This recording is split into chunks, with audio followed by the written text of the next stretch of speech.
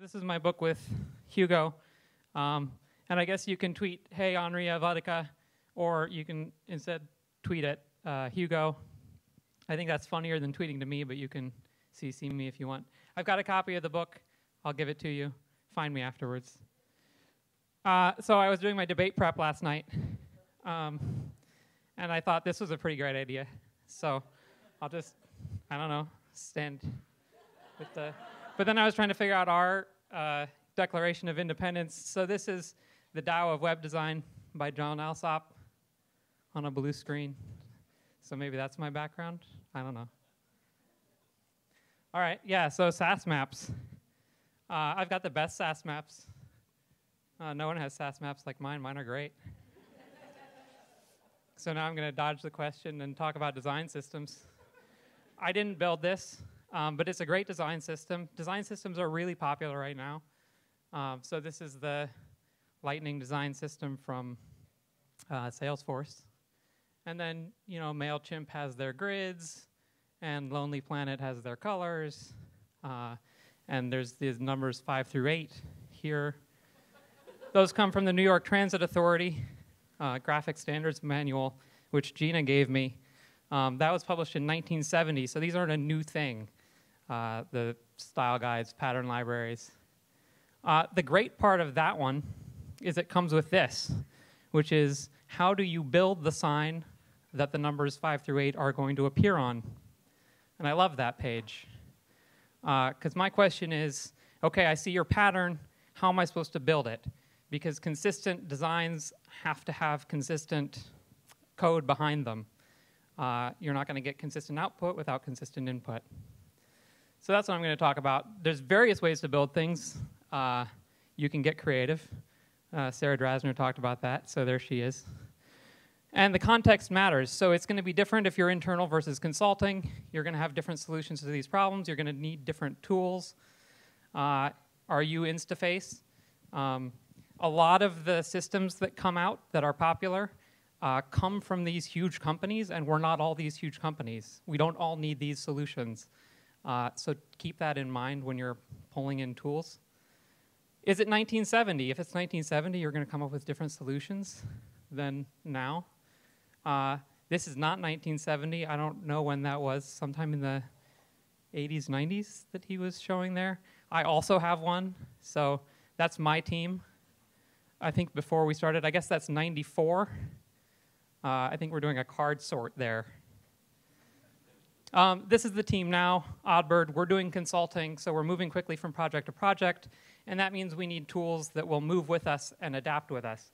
So that's very different from what Twitter needs or what Facebook needs.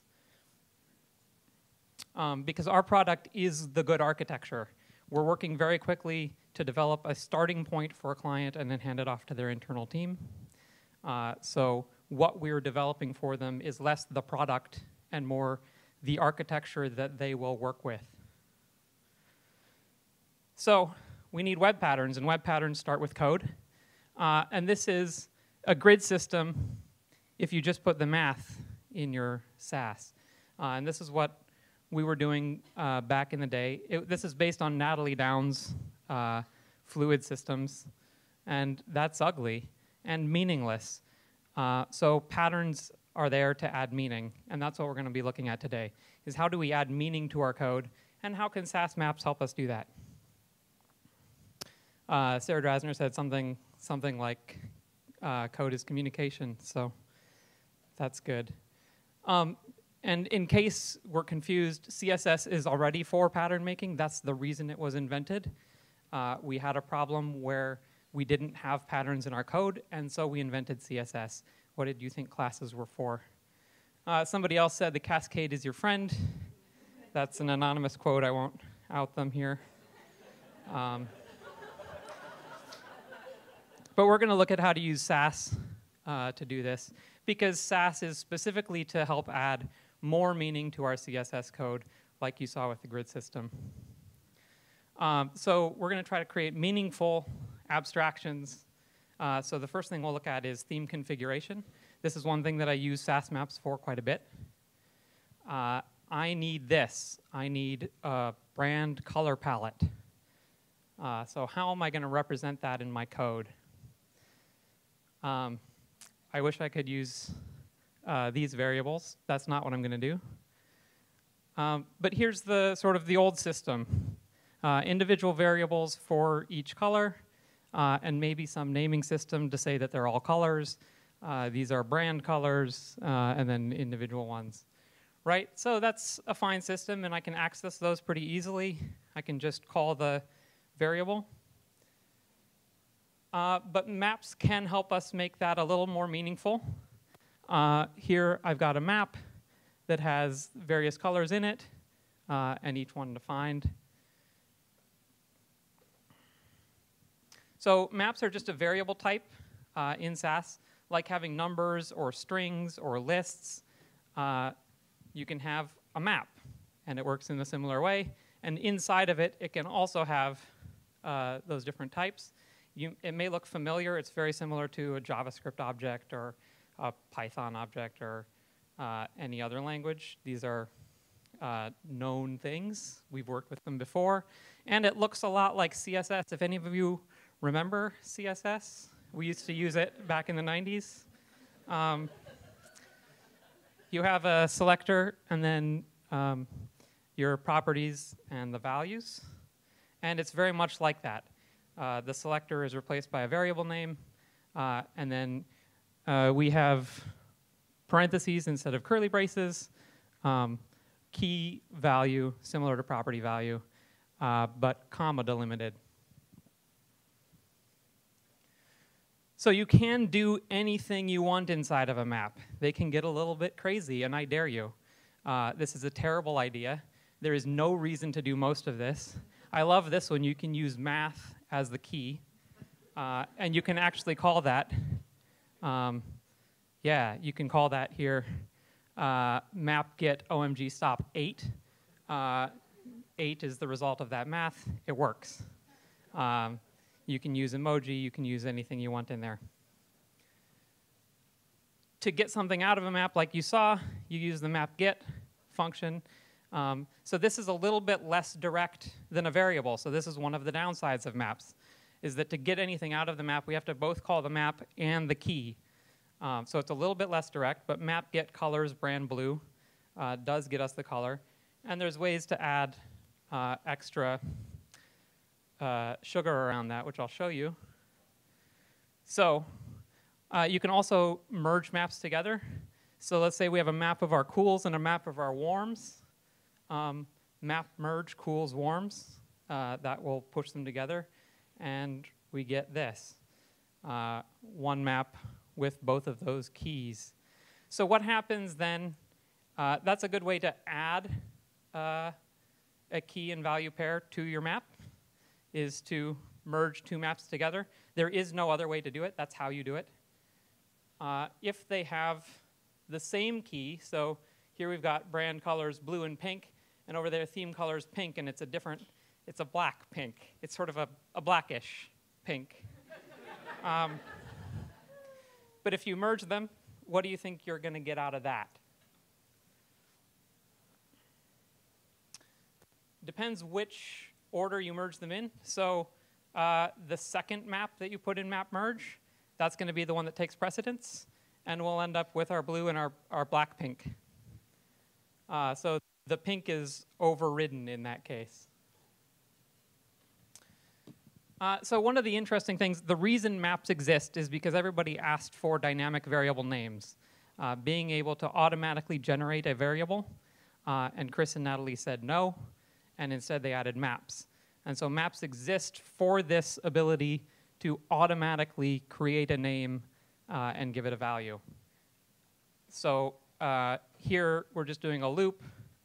Um, each name color in colors, so that's going to take each key and each value, uh, and we're going to create a new, uh, a new key with a new value uh, to add to that map. So in the end, we have, after running it through that, uh, we have now a complement for each color in our map. So you can automatically generate from one set of names, you can generate more and keep adding to your map, which can be useful. Here's the problem.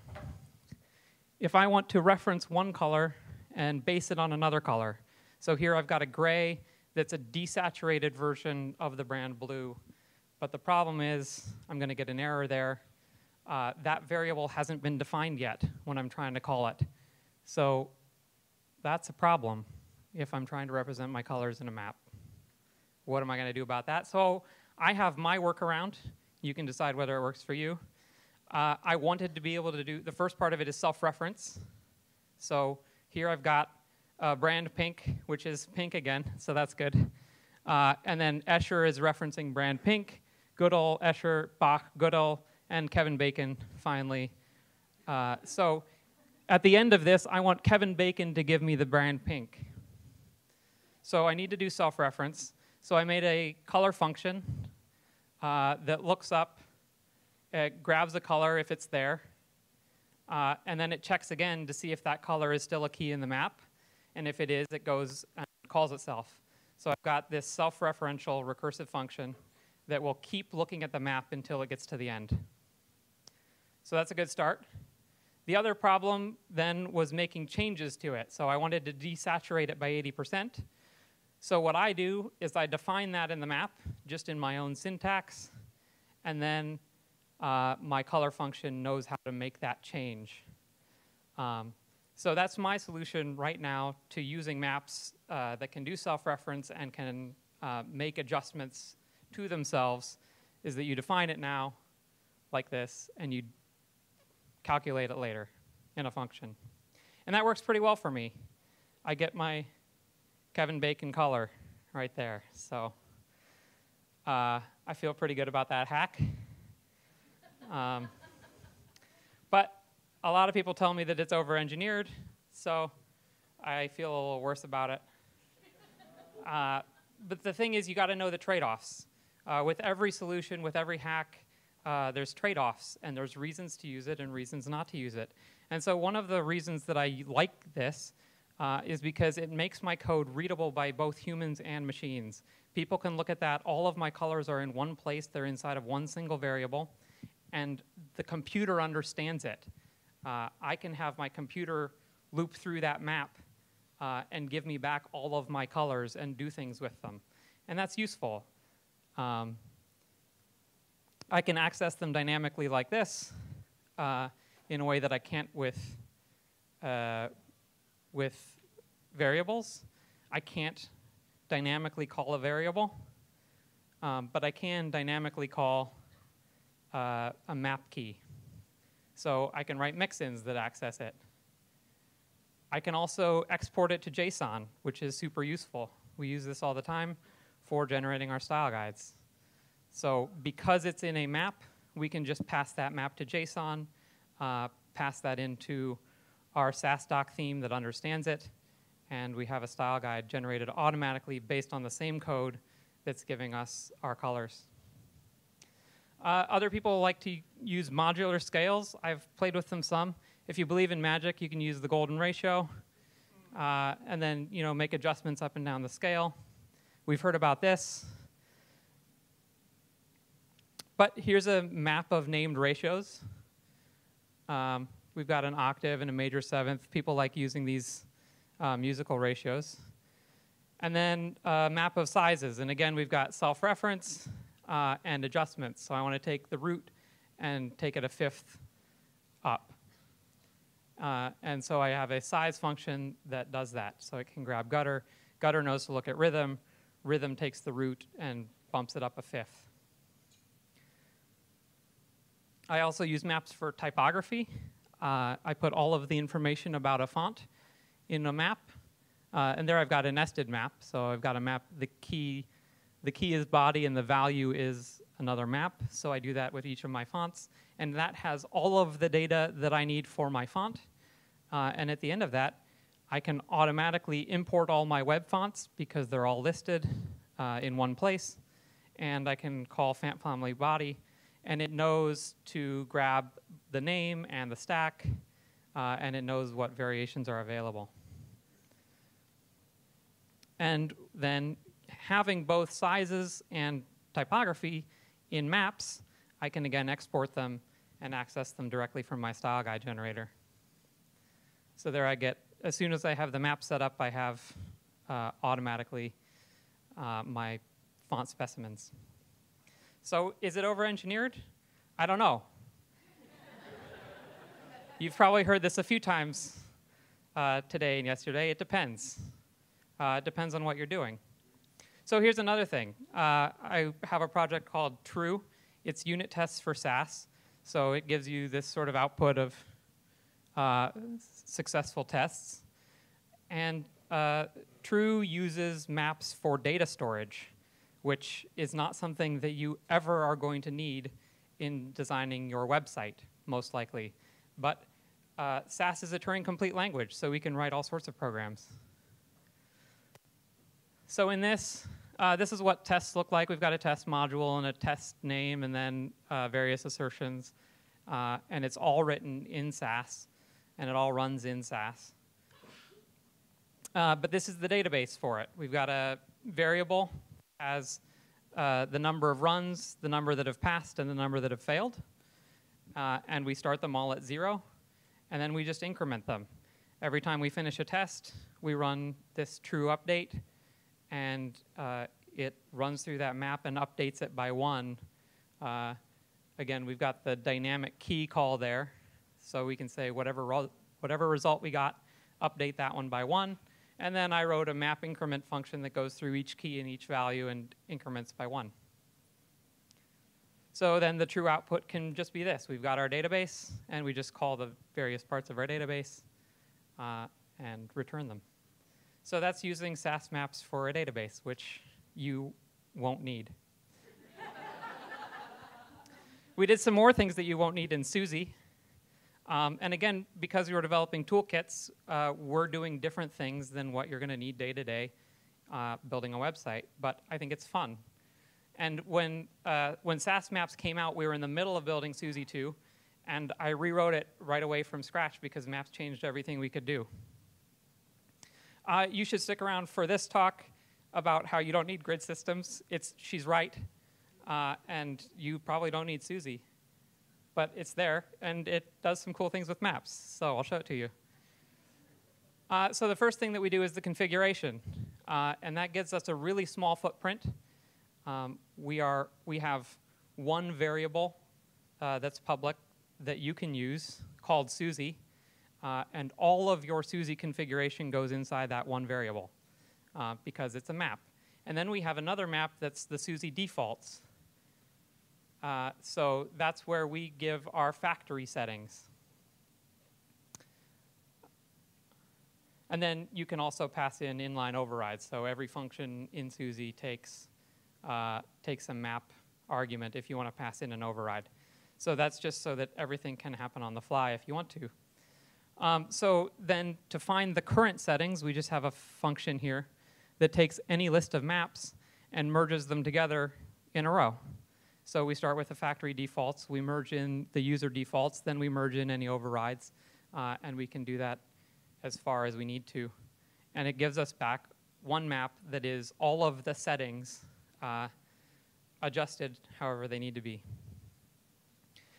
So you can actually then in SUSY have multiple maps that are different configurations for SUSY, and you can keep them all around, uh, and you can pass them in on the fly. So you can say, in this case, um, we'll use the defaults here for the first one, but then inside of this media query, uh, we'll pass in a completely different configuration. And in inside of this larger media query, we'll pass in another configuration. Uh, and you can create arbitrary complete configurations inside of maps uh, however you want, and then pass them into the system and it understands them. So I found that pretty useful. I thought that's a great way to do uh, a lot of user control, a lot of uh, configuration on the fly. We also decided to do language parsing, and part of the reason for this is uh, SUSY is a grid sy system. SUSY doesn't have an opinion about what type of grid system you use. It doesn't care whether you're using floats or Flexbox or uh, tables or it doesn't matter. Uh, SUSY is just there to do the math and it doesn't care about the system. So uh, there's lots of different configurations that you could want, and we didn't want you having to do a list of arguments where if we add one argument for uh, asymmetrical grids that is going to get in the way of you when you're not doing asymmetrical grids, that's a pain. That's, a, that's not a great UX. So instead, we created a shorthand syntax that looks more like uh, CSS shorthand values, uh, where we created keywords for things. So instead of 3 comma 12 comma location 1 comma container spread wide, you can say first three of 12 wide. And we did that using maps. So here's the first attempt. Uh, we have a, an options variable, and uh, we have each setting that we want location and spread that we want keywords for, and we listed out the keywords. And I forgot a comma there. You're going to want that comma there. Uh, so here we have, you know, these three keywords are going to attach to this. Uh, that's not very performant.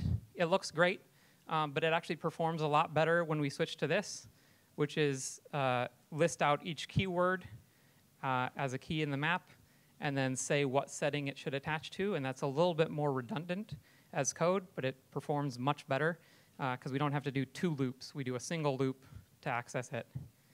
And that looks roughly like this. This is a super simplified parse function that takes in uh, a, a, list and it pulls it apart. And for each item in the list, it checks that map. Uh, and if the, if the keyword is in that map, it replaces it uh, or it assigns it to that setting. And in the end, we get something like this. So here's our options. If we parse first wider, uh, it will return this map that says we've got location is first and spread is wider. So again, we've, we started with a map, we passed in a list, we got back a map, and this is how we do everything in SUSY. It's all maps getting passed around because they're great for storing data like this. Uh, so we take this map. Oh, if you're wondering what spread is, I've got it here. Spread is the fact that when I say span three, you don't know whether to include that gutter or this gutter. So we've got narrow, wide, and wider as options. So the next step that we need to do is normalize it because uh, spread is actually how many gutters do we have in relation to our span or in relation to our columns. Uh, so we want narrow to mean minus one, we want wide to mean zero, and we want wider to mean one. Uh, so again, uh, we've already parsed out that the spread is wider now we want to know what does wider mean.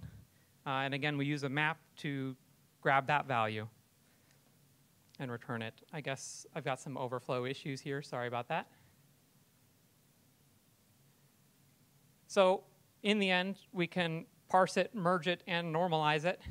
And we get back, we've passed in last three of six wide by 140 pixels. And it parses and normalizes all of that and returns a config map that the SUSY internals can understand uh, that shows all of the things, even the ones that weren't passed in, uh, they got merged down to the factory default. And now we know everything we need to know about the grid uh, based on this shorthand that you passed in. Yeah. So then we take that map and we want to convert it into a map that represents CSS. Chris Eppstein hates when I do this. Um, and he has good reasons for that. But I do it anyway. He doesn't always get what he wants. Um, and uh, the usefulness is that I can pass around this pseudo CSS and make changes to it. And I'll show you why. So, but here it is. Uh, we've got a get gutters function that returns a map of the gutters we're going to want uh, based on whether it's split or not split. So if it's split, we get a margin left and a margin right that are both half the gutter and otherwise we just get uh, whatever position was set either left or right, uh, and we just return that. So the results are if we wanted split, we get margin left one rem and margin right one rem. And if not, if we ask for margin left, we get it all on the margin left. And then uh, I can just render that. And rendering is a pretty simple loop.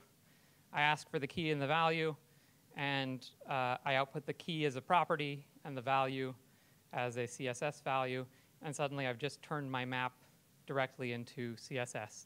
And there's more complex versions of this. uh, you can have a rendering function that would then do nested rendering, uh, and you can do very complex Sass rendering that way. So that's what it looks like. Uh, the reason that we use it is for something like this. We've got multi-directional site support, so we want to be able to pass in from the user, is this left to right or right to left? Uh, and Susy otherwise just talks about before and after. So for the rest of the calculation, Susy is just thinking before and after. And then one, once we get to rendering, uh, we look at uh, replace. We say, okay, if the direction is right to left, uh, before is on the right and after is on the left. Otherwise, before is on the left and after is on the right. Um, and so we can, right at the rendering stage, uh, switch those out. So that's useful. Now we can just say uh, we want gutters right to left, and we have uh, margin right to M. So why does Chris care that I do that and I shouldn't do that? It's because in Sass, they have a very strong belief that CSS should look like CSS, and that's useful. Uh, I think they're right in most cases. Um, it's uh, you want users to be able to come into your code, and code is communication. You're communicating to the people that are looking at this later, and when they see CSS, it should be CSS, and when they see Sass, it should be Sass. Uh, and there's a reason that those two have very distinct syntaxes. Um, and this breaks that rule. So keep an eye out for the content function.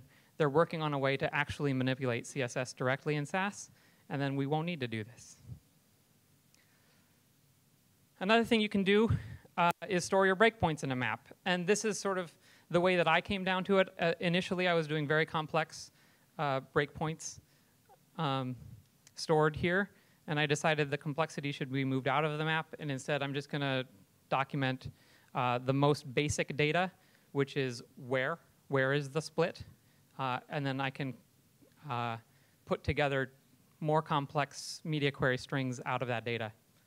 Um, but basically, I have a break function that's like the other functions I showed you, uh, recursive, uh, so that I can reference different numbers in that map. And then these prepositional mix-ins that just give me the shortcut to below, above, and between uh, for min, max, and uh, both. And then I can call named queries using those. So it's just a really simple way to keep all my media queries in one place and access them by name. So there's a lot of other things you can do with maps. You can remove pairs. Uh, map remove is really helpful uh, when you need to do that. I actually don't need to do that a lot, but there it is. Uh, you can fire me from the conference, just map remove CSS conf speaker, and I'm not there anymore. Uh, you can also do some introspection. There's map has key, map keys, map values. Uh, so you can return a list of all the keys, a list of all the values. You can check to see if a key exists. Uh, those are all handy. All of the list functions in Sass work uh, for Sass maps. Uh, they just treat the map as a list of pairs. And you can find out more from Hugo and Una and other places online. There's a lot of other good ideas for using maps. So, that's it.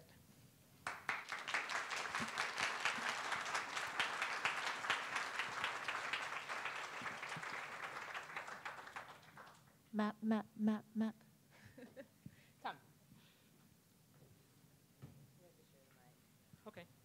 I didn't want to have any more John Cage experiments, so we decided just to go about it this way. Um, fascinating, mind blown, map blown. Uh, question for you Do maps add to compile time? Uh, not that I've noticed. Oh, so nested maps are very hard to access. So if you're using next nested maps, uh, that does add to compile time quite a bit. Uh, a normal map function call shouldn't. Can you talk a little bit or share like your philosophy around the tools, especially accoutrement? I remember when you were working on these and we were working together, and I was very, very interested in that. So I think it'd be cool for folks to know. Yeah, my philosophy is you should over-engineer things. I think that's uh, that's how I start. I mean, I think it's great. You you take um, something that you're doing repeatedly in your code, or something that you think can be like turned into a component, uh, and you turn it into a component. And then when you try to reuse it, you'll find all the, the places that you overdid it, uh, that you got too specific. Uh, and in the end, you can slowly weed out. The more often you use a component like that or a tool, uh, every time you come back to it, you can find like, oh, where did I get too opinionated? Um, and in the end, a lot of my tools end up very uh, functions only, um, as few mix-ins as possible, because mix-ins are where the opinions happen. Uh, that's where you're actually generating CSS code. And so most of the tools I want to be able to take from project to project and have the actual output be different, um, but have the logic behind it be the same. So then I get lots of functions that figure things out, and then uh, I can use them however I need to, uh, adding them the CSS later. Mix-ins are where the opinions happen. That's a great quote. And a wonderful uh, soundbite to close out this first half of the conference. Thank you, Miriam, for your talk.